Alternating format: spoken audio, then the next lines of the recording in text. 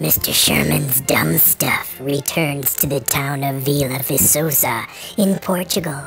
Remember the Ducal Palace from the butt video? This time, we're going past the square, past the statue of Portugal's King João IV on his horse Baluarte, past this building.